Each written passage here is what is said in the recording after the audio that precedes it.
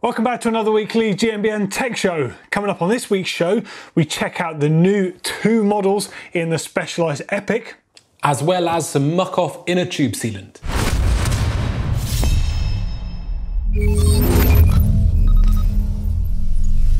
Okay, now straight into news and over to Henry. So, first up in the news this week is the new Epic and Epic Evo from Specialized. So, the Evo name tag has traditionally been given to the more aggressive bike that shares a platform. So, for instance, the Stumpjumper and Stumpjumper Evo, the Enduro Evo, and so on. And now we have the Epic Evo. So, we're going to go over the Epic first, and we'll come back onto the more aggressive iteration in just a moment. So the Specialized Epic has been around for about two decades now, and it's always been really famous for having this brain system. Now, what is the brain? Well, basically, it's an inertia valve. So basically, when there's bumps that push the bike up, it essentially has a little spring-loaded um, inertia valve. So as that is transmitted through the bike, it pushes the spring into its stroke and opens the valve so then you can get have damping, you can get wheel travel. But it doesn't open up for pedaling forces. So this is really, really good for XC racing where you want something that is compliant yet really efficient under power. So the Epic has still has 100 mil of travel and it's really perfect for those kind of either XC racing or epic marathon sort of stuff. And this time, RockShox are making the brain system. Now, over the years, it's gone between Fox manufacturing or RockShox, and now it's RockShox again. So you get that hardtail efficiency with full suspension grip, or, or so the theory goes. It's got revised geometry, which is a lot, you guessed it, lower, longer, slacker, and the reach goes from a 390 to 495, which is massive for an XC bike. It has a 67 degree head angle, 67.5 degree head angle, sorry, paired to a 75.5 degree seat tube angle, although it's worth noting that on the small it is slightly steeper to accommodate wheel travel. The Epic starting at the comp model starts at £1 under 4 grand. So um, pretty pricey, but it has always been a, a real racer's favourite, the Epic. So the Epic Evo, what's that about? Well, the first thing, as I alluded to earlier on, is it doesn't have that inertia valve. No brain on this, but it does look absolutely jewel worthy in this, this green with tan walls. It looks absolutely fantastic. So it has 10 mil travel extra out back, 110 mil with paired to 120 mil fork. It has five sizes going from uh, extra small all the way to extra large with similar reach numbers. So the Epic Evo is meant to be kind of trail capable but XC weight. And I think it's really, really cool to have this kind of new wing of capable bikes. Now, dare I say it, it is very down country. So apologies for that, but it does seem to be a real hot trend at the moment. Now, what do you guys think? Does your interest pique like mine does when you think about these really aggressive, super light, super efficient XC bikes that often just have a bit more travel and more aggressive numbers than you'd expect a few years ago? Let us know in the comments. Oh, yeah, thanks for that, Henry. That Specialized Evo, wow. Um, that would definitely be the one I'd pick. Those town walls with the olive looking frame and um, essentially binning off the, the really efficient brain shock. I wouldn't need that for the sort of purpose of riding I'd have, but that'd be definitely the model I'd go for. Uh, love to hear from you guys. What would you prefer out of the two, the regular Epic or that Evo model? Uh, both very cool. Let us know in the comments underneath. Okay, so now it's time to talk about shoes. Now, Ride Concepts are back with another great set of shoes called the Vice. Now, just to refresh your memory, so Ride Concepts been making flat pedal dedicated shoes and they've got their own rubber compounds. Uh, now, these guys seemingly came from nowhere. We first checked them out, I think about a year or two ago at one of the early Sea Otter events. Now, their whole range of shoes staggered me really because of the fact they came from nowhere, I hadn't heard of them, and they had a shoe for almost every application. And they've got three types of rubber kinetic soles that are exclusive to them. They've got the 4.0, the 6.0, and the 8.0. 8.0 is mid grip, 6.0 is high grip, and 4.0 is max grip. Uh, obviously, they're available in all sorts of different options. They use D3O in them for impact protection, and actually, they use them in the soles as well, which is kind of interesting stuff. But their new shoe bit of a departure from this style. They've gone for a bit more of a flat pedal style dirt jump shoe and this is the Vice on screen. Uh, it's available in a few different colorways and it's designed with Kyle Strait actually, um, so he's got loads of input to the shoe. So at a glance, they look a bit more like your regular skate style shoe, but they have been designed with mountain biking in mind. In particular, dirt jumping, street riding, slope style. I mean, they've got lots of protection, but you've got to bear in mind that these are designed around that style riding as opposed to out and out pedaling. If, uh, if pedaling miles is what you're after, then perhaps you want to look at some of the other models like the TNTs or whatever. Um, but these ones are really cool. So the sole on them look at this, right? So this is a new sole for them. Uh, it's called the Fusion Sole. It looks reminiscent of that sort of waffle sole you see on shoes like Vans, but this one is specifically designed for flat pedals. And it's got a hexagonal profile to the holes on the sole, and, a, and they're different in size as well, between seven and eight millimeters, and some are deeper and some are shallower, all designed around hooking up on flat pedals. Now they use the mid formula of the rubber, the 6.0, using it in this type of sole, I mean, I've got a pair here you can see, when you use it in this type of sole, the sole is more flexible so they can fall more and actually feel a lot more like a skate shoe, except unlike using like your favourite pair of Vans to ride to the pub in, you don't get the old monkey feet. Like these things are actually really good for riding in. They've got a really good heel cup on them, a really protective toe cup, and as soon as you put your foot into them, you realise it's not just a pair of trainers. They are a genuine riding shoe. They just have the form of a pair of trainers, and uh, I think they look amazing. I think Ride Concepts have come a long way in not much time, to be honest. Uh, a few more rad shots on screen of them, uh, a few more features. So they've got a rubber toe bumper, the gusseted tongue. They're available in a few colorways. There's uh, urban style battleship grey, there's black, there's a gum, gum rubber sole, the camo and blacks I've just shown you. They look really cool. And the coolest thing is they come in adult and kids versions. So the adult version are $100 or 100 euros, and that is about 89 quid in the UK. And the kids version, 65 quid in the UK, which translates as 80 euros or 80 US dollars. I think those guys do an amazing job. Uh, anyone else out there used Ride Concepts? If so, what do you think of them? Let us know in those comments underneath. Back over to Henry. Garmin also have some new releases this week with the 130 and 1030 cycle computers. So the 130 has a 1.8 inch display which uses buttons, and with the 1030 you go to a 3.5 inch which is a touchscreen. And the touchscreen is very clever because it works with gloves, which is for cycling very important indeed. In fact, it's the same system they use on the 830, and I'll be riding along and can use the Garmin with gloves, but not my phone. So I don't know how they do it, but it is very useful.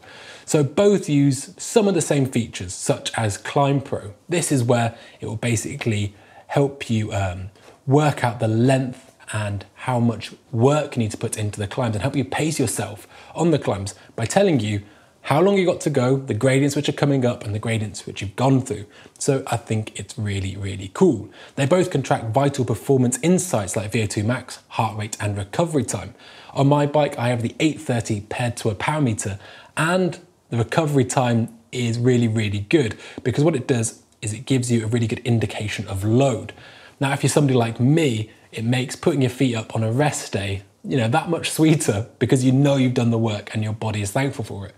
On the times you do push through, you'd be amazed how fatigued you feel the next day. So, so much technology goes into this to make it accurate. Both have incident detection and live track plus weather updates, and that's because you can link it to your phone. So that means you can also get your text message alerts and so on. Now the 1030 touchscreen is really, really big unit. So you might be thinking, what's the battery life? Well, the usable battery life, so when it's linked to the bike with GPS, etc., is 24 hours. And if that's not enough, you can actually get a bolt-on battery pack to extend that, I think, to about double. So it's really quite remarkable. So the 130 is kind of on the more entry level side and starts at 200 US dollars, or the 1030, which is the real big daddy of the whole Garmin range, starts at 600 US dollars. And both are available in various bundles, etc. I absolutely love my Garmin. I've got the 830, and when I did the Everest ride last year, I think it still had like, they said it was 24 hour battery life, but it was a 21 hour ride and it still had about 40% left. So I was very, very thoroughly impressed, and it's great to uh, to not have to worry about recharging it all the time. But yeah, that's uh, for those people that perhaps have an eye on training or just want to navigate their rides. But great to see new computers from Garmin. Okay, next up in news, although not a new product as such, is a new product range, a limited edition range, uh, from our friends over at Giro.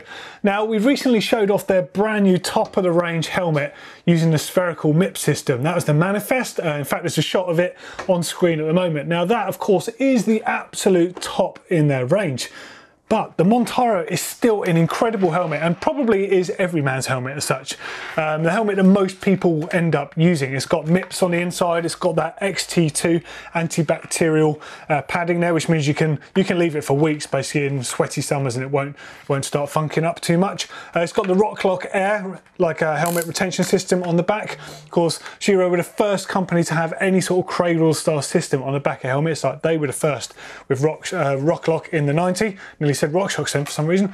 Uh, it's got the movable peak, of course, you can get out of the way to put your Enduro style goggles on there. It's generally a really cool helmet, and as you might have spotted, this particular one has a rad colorway to it. I mean, just look at the detailing on it. It looks amazing. Now, this is part of the Hironori Yasuda range. Now, Yasuda was an incredible, iconic Japanese designer behind some really unique patterns. And a lot of it used to be in black and white, as you might have noticed from the detailing on some of these products. Now, they actually made a video all about this because this wasn't a product line designed to sell loads or to make loads of profit from. This was made entirely for the interest of some of the designers that work at Giro who've been fascinated by his work for, for many, many years. And he actually refused them the rights to do this range several times before they actually finally got to meet and agree that it was a good idea as a collab.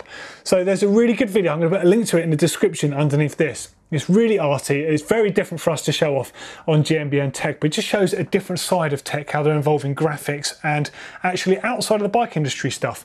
Really cool to see. Obviously, the Montara is an amazing helmet. It's a really good, strong helmet. It's got, like I said, it's got MIPS, it's got all the stuff in it you need to be safe. But it shows that they're doing these cool little capsule wardrobes. So you've got the gloves that go with it, you've got the merino socks that you can tag in there, you've got the riding jersey, and of course you've got the riding shorts. So you can go to town. There's a few more shots on screen. So the pricing of that Montara helmet in that Yasuda range is 150 US dollars. Uh, it's going to be similar in euros. The gloves are 25, the jersey is 60, the shorts are 100 and the merino socks are 16. Now, a very limited run, but there are loads of other great capsule wardrobes that might suit your bike and your taste a bit more in the sight. Okay, next up, Muc-Off are back with another product from their seemingly endless range of products. Uh, this one actually, I think, has got a lot of miles, um, in particular of late. A lot of people have started dragging their bikes out the shed, a lot of commuters and people aren't necessarily mountain bikers like you or us, but they're suffering from punctures nonetheless. And they might not be set up tubeless, which is of course where you would normally expect to see tyre sealant. This stuff is designed specifically to put inside inner tubes. And I think we all know someone that can benefit from having something like this, so share that knowledge around. It's a slightly different formula and actually has corrosion inhibitors in it, which is uh, made me question it first. I was like, why have they put that in there? But it kind of makes perfect sense.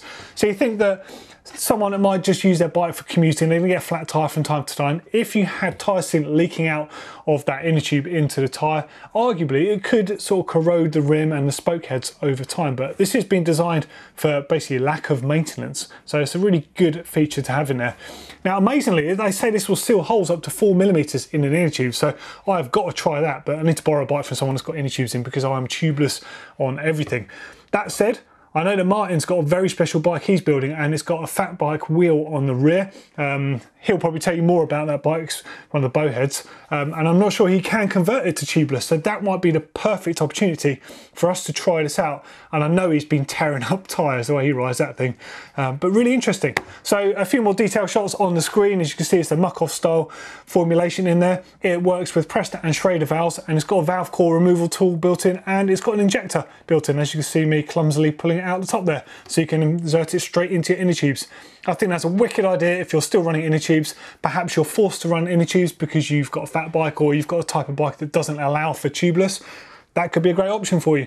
Uh, retails for £9.90 in the UK. That is $9.99 in US dollars and $11.99 in euros. So the last piece in the news this week is a bit of a hot take actually, because it's something that just released just after we filmed the show last week, so we couldn't include it. But it is the new bikes from Santa Cruz and Juliana. So an updated 5010 and Furtado. So just to kind of run you through the specs because they do look very cool and I know we have a lot of Santa Cruz fans out there. So they have a lower link driven VPP so aesthetically it looks very different to the previous generation but now moves it in line to the Mega Tower, the Nomad, etc. So it comes in the C or the CC, so both are carbon options and both available for the Santa Cruz or Juliana. But basically, the C is the kind of more entry level one, and the CC is the super high grade carbon fiber. The women's version, the Furtado, basically runs on the smaller sizes, so it starts smaller and only goes up to about medium, and it comes with you know women specific contact points, so it's it's going to be more comfortable. Interestingly enough, it has 27.5 inch wheels, and this is because it's an emphasis on fun. 130mm of travel at the rear, paired to 140mm on the front. So it does have a flip chip, but you can run it in as low as 64.5 degrees on those 27.5 wheels, so it should be a very capable bike indeed. And the last noteworthy thing that caught my eye is as you go up through the sizes, the chainstays grow by three millimeters. Now this basically helps balance ever increasingly long front centers by lengthening out the rear a bit. And it makes loads of sense because as you go up through the sizes, that front center is growing depending on the frame size, but often, you know, you can get the same size chainstays on a small as an XL. And that doesn't make much sense. So it's to kind of counteract that. Now, obviously, for Santa Cruz and Juliana, this will incur more cost, but I think it's a really positive step, and it's a step that more and more brands are taking. So I think it's really, really good news. But yeah, I think it looks great. So it'd be cool to uh, cool to see them in the flesh at some point. They've got some fantastic colours. So now it is time for the quiz, which is where you get to test out your tech knowledge. So the first question, what is TPI? And do you know the difference between a low TPI and a high TPI? The second question, where did the 5010 name come from? So that's the name of the Santa Cruz bike we're talking about in the news that's just had a new version come out. And the third and final question, which bike has the longest name in the world? Very Jeremy Clarkson. But which bike is it? So you'd have to tune in later on with Doddy to find out those answers. And now it is time for Bike Cave. This is where we get to feature your bike caves. So what is a bike cave? Well, it's where you store your bikes, where you work on your bikes, etc. So if you do have your own submission and you want it featured upon the show, then get in the upload link below and fingers crossed we can feature it.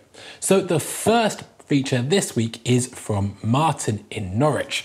And he says he's finally finishing the extension to my garage and now he has a bike cave. So it sounds it's been a bit of a work in progress. It's filling up with stuff quickly that he's been collecting over the years. There's a pool light of the workbench and the jukebox on the wall. You may also notice the BMXs on the walls and it, I mean, you said you're filling up with stuff. It looks, looks pretty full. but it's got loads of stuff. The actual workplace there looks pretty good. Got a little bench grinder, a vise, nice set of nice, lovely set of drawers, you can say. and yet really well lit. Loads of bikes and yeah, BMXs everywhere. There's something people collecting BMXs isn't as niche as you thought it would be, or so bike ages would suggest. Seems a lot of people do. Clearly like your um, your old school stuff with that uh, jukebox, all very cool. Looking pretty good indeed.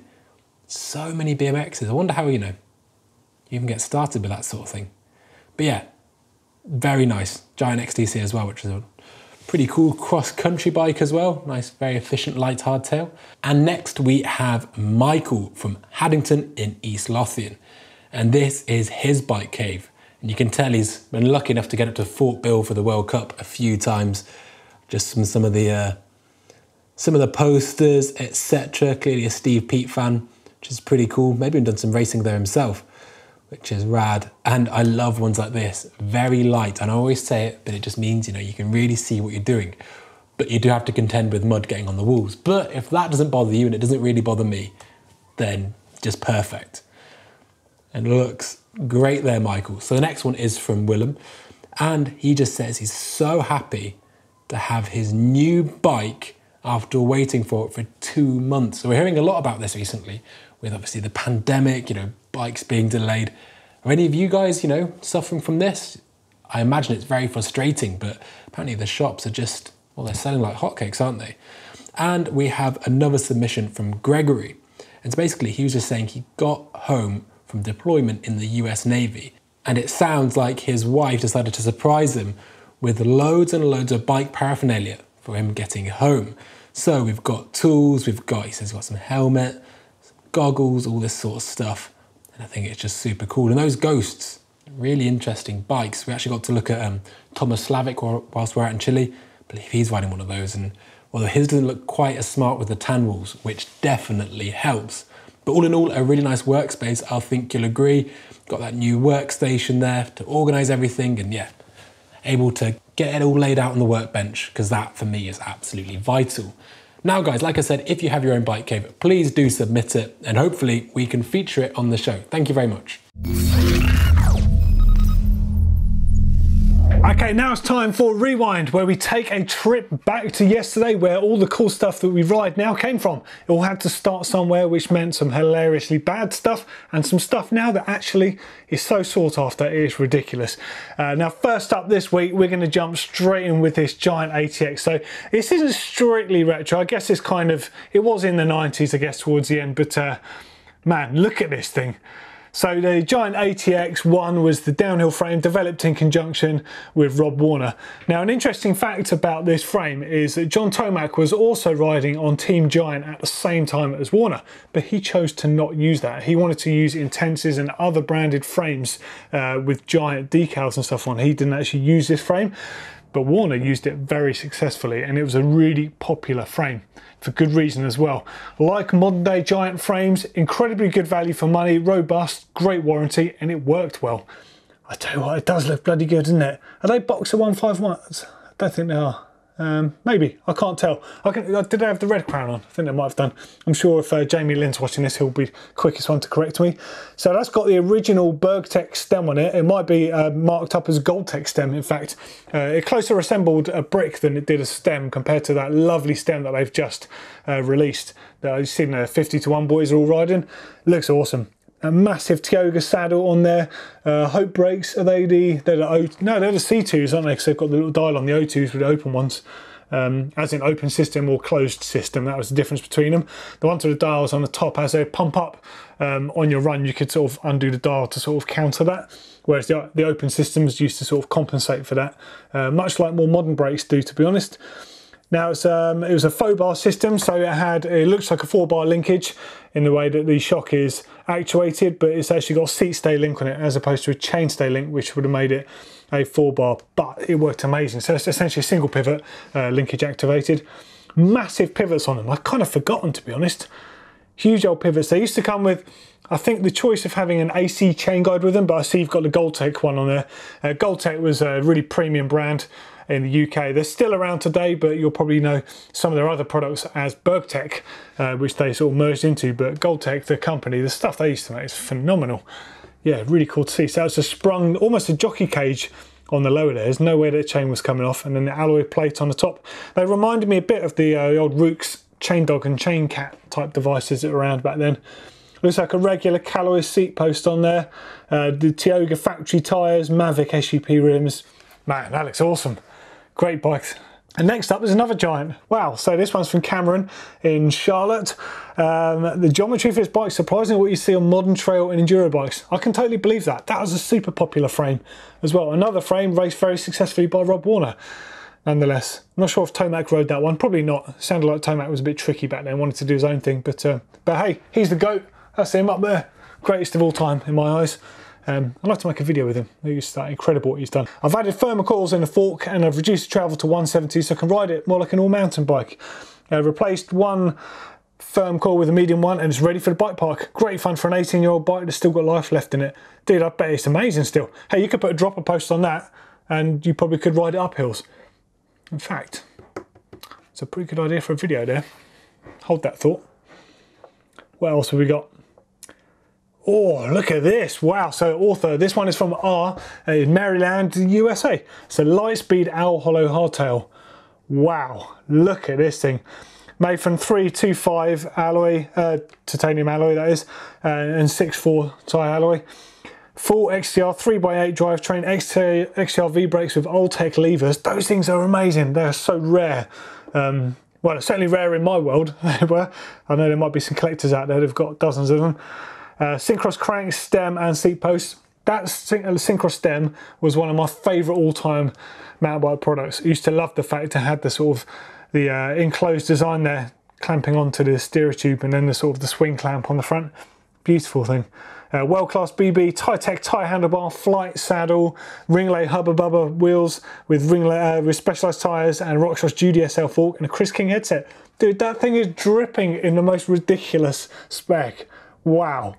Look at the condition of it as well. It's even got Onza L bend bar ends on there as well. And not the cheap ones too, they're the decent ones. I used to do the chromoly ones, which uh, me and my mates used to buy because we wanted the look. But the alloy ones are the ones you went for, or the titanium ones if you're a team rider, but no one could afford those. Super nice. Yeah, XTR mech, you got the alloy jockey wheels on there. Those are Syncros cranks, they look so good. Original XTR M37 737 pedals as well. Um, XT, if I thought it said XTR. I'm on a bit of a retro trip here. Something's gone wrong with my head. Man, look at that thing. Classic looking Litespeed frames, beautiful. If anyone out there's not ridden a titanium bike, if you ever get the chance, in particular, try a titanium hardtail. There's something about it. Anyone that's ridden one will tell you the same thing nothing quite feels the same. So alloy frames can feel really responsive, but can feel quite harsh. And then chromoly frames can feel have a little bit of a springy nature, but they can feel quite dead at times. Whereas tyre sits somewhere in the middle where you've got a slightly springy, forgiving feel, but feels really snappy as well. And the great thing about titanium is you never need any paint on it because it doesn't corrode, so it will look that good forever. Just amazing. And in fact, my daily commuter bike, when I used to commute to work, uh, is currently locked up, um, is titanium. And that's not painted, and it still looks as beautiful as the day I got it. But uh, awesome. Thank you, R, for sending this in. Um, wow. Really nice to see. Great stuff. Uh, some great trips down memory lane there. Thank you, everyone, for sending in your rewind entries. If you have a 90s mountain bike or any sort of mountain bike gear or memorabilia, we would love to see it. There's a link right there and there's another one underneath this video and you can click on. Uh, hopefully we can go back in time again next week. See you later. Now it is time for Top Mods. Now this is where we get to showcase all your hard work.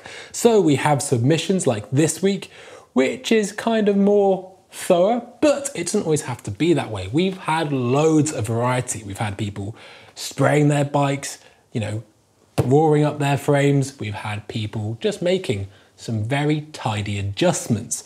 But this week is something very nice indeed. So it's from, I hope I don't butcher the name, Diwa. I'm gonna say Diwa. Sorry if I've um, messed that up a bit. From Uppsala in Sweden. And he's saying he bought his first entry level mid travel bike with ambitions to learn more about tech and mechanic to upgrade over time. And boy oh boy, has he been doing the upgrades. So he's done loads of work, and I mean loads of work. And seeing the end results, it looks fantastic. So we've got, you know, different forks, different shock. He said he's done all the pivots, he's done the bottom bracket, the brakes, everything really. And the end result, well, it looks very, very smart indeed. So uh, thank you very much for sending that in to us. And uh, like I said, guys, if you have your own bike you want featured on here, next time you're doing some work on it, just tell us what you did in the job, why, what you're thinking, what your plan was, and how well you, you feel you executed it.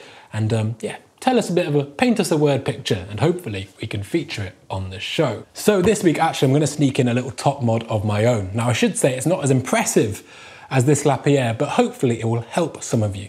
So, I always like to ride with glasses, but it's always handy to have a storage option on your helmet. Now, putting them in my helmet, they did stay in, but maybe not, not massively secure, especially if I forgot to put them back on and I was riding a like a traversing tech section or something like that. So I put some small bits of rubber mastic tape just on the side there, just to increase the, um, the width a bit and also something very, very grippy for the legs to cling onto. And now, I mean, they're, they're pretty secure. They're not going anywhere. They just rest on the visor there. And um, it really, really helps me. And I thought maybe it would help some of you as well. So yeah, just two, two small slices of rubber mastic tape, which you normally put on your chainstays. And yeah, I haven't had them come out. I always leave them up there. I've ridden some pretty, some pretty tech trails and yeah, never have any issues. So um, quite happy with that. And it just um, stops the bugs getting my eyes and whatnot. So maybe you'll find that useful as well. All right, now we're back with the quiz answers. Did everyone play? Did anyone get the right answers? Did anyone cheat? Did anyone use their phones? Hopefully didn't. Okay, so the first question Henry asked was, what is TPI? And do you know what the difference is between a low TPI and a high TPI? Anyone get it? There's been some clues in tyre videos recently. It stands for threads per inch and it's the amount of threads the carcass has per square inch. Now you get a low TPI, maybe 60, and you'll get a high one, maybe 120. Of course, it varies on brands and styles of tyre. Now, for a long time, a low TPI has been seen as a cheap tyre and a high TPI has been seen as a high-end tyre, but it's for differing reasons. It's not what you might think. So on a low TPI rate, uh, the threads tend to be a lot bigger, a lot thicker. So it's easier to make the tyre because of that. But the downside is you don't get much in the way of feel. So the tyre is cheap, so you can make good budget tyres out of it and they're going to be effective and nice and solid. But the casing is going to be kind of quite thick and not that conformative uh, over terrain. But it makes for excellent downhill and heavy duty tyres because of that exact reason.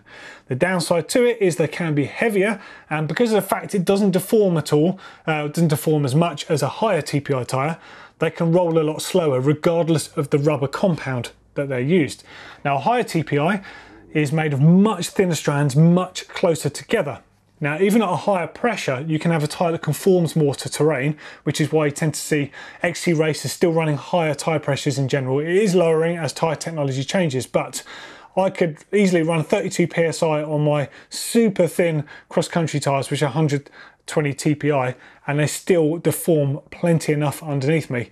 Could go lower, but then I start, because I'm quite a heavy rider, um, about 90 kilos in case you're wondering, I start deforming the tyre around. So uh, that's why that option works really well for that.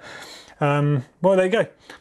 Next up, he asked, what or where did the 5010 uh, logo come from Santa Cruz? This is quite a cool story actually. Did anyone get this? When the bike was launched, it used to be called the Solo, not the 5010. And rumour has it, um, could have been something to do with a Hollywood name in a certain Star Wars film. Um, also, because of NGC 5010, a certain uh, lenticular galaxy uh, constellation out there. Um, but maybe they just changed it because they had to change it, and Solo was as close as they could get to um, uh, 5010, which is why they use 5010. There you go. Next one, and this is a really fun one. Which bike has the longest name in the world? This is easy. I love telling this story. Anyone get it? It's a beach cruiser by Kona called the Humu Humu Nuka Nuka Apua. Uh, I think that's how you pronounce the name. And that is a triggerfish uh, from Hawaii. Of course, a lot of Kona's names, the Kilauea, the Lava Dome, the Cinder Cone, the Explosif, they're all themed around Hawaii and mountainous volcanoes and stuff. Uh, the original bike called the Humu Humu Nuka Apua is now in a range called the Humu Humu. Um, when they launched that bike, it was a beach cruiser with that twin style top tube. It was the bike with the longest name in the world. But another brand, I forget what the brand is, they launched a bike and it had like another two letters. So Kona were like, well, we're not having this. So they launched another bike and they called it the Humu Humu Nuka Nuka Apua Deluxe. And that name took up the entire top tube. No jokes. Look it up on Google. It's still out there somewhere. Um, so they won clearly because the name takes up the whole top tube. Uh, and for for the record, I'm after one. I'm after a frame and a fork to build up as a pub bike. So if anyone knows of a Huma Huma Nuka Nuka Apua Deluxe going, I would love to take your arm off for that one. Uh, and there you go a bit of random pub knowledge for you. And that is it for another weekly GMBN Tech Show. Thank you very much for watching. Now, guys, what do you think of that specialized Evo? Because we're at a junction, we're gonna have to really get behind this downcountry thing or indeed get some kind of swear jar mechanism so we stop yammering on about it so much. Thank you very much for watching. Don't forget to like and subscribe, and we'll see you next time.